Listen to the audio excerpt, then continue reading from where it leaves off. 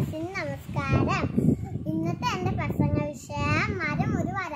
കൂട്ടാരെ നിങ്ങൾക്ക് അറിയാമോ മരത്തിൽ നിന്ന് നമുക്ക് ശുദ്ധവായു കിട്ടുന്നു തണൽ ലഭിക്കുന്നു പൂക്കൾ ലഭിക്കുന്നു പരങ്ങൾ ലഭിക്കുന്നു. കൂടാതെ മരത്തിൽ കിളികൾ കൂട് വയ്ക്കാറുണ്ട്.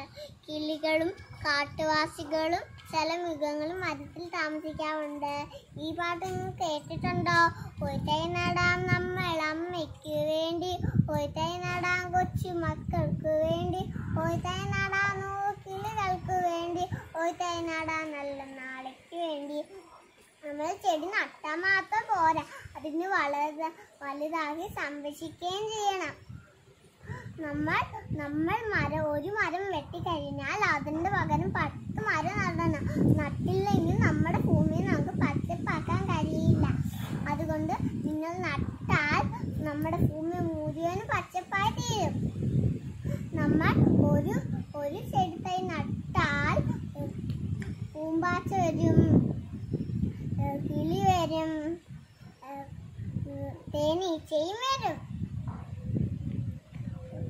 വരാറുണ്ട്.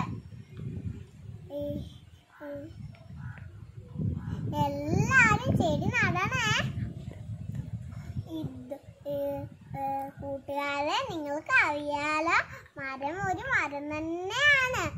ഇതോടുകൂടി എന്റെ ചെറിയ പ്രസംഗം ഇവിടെ അവസാനിക്കുകയാണ്.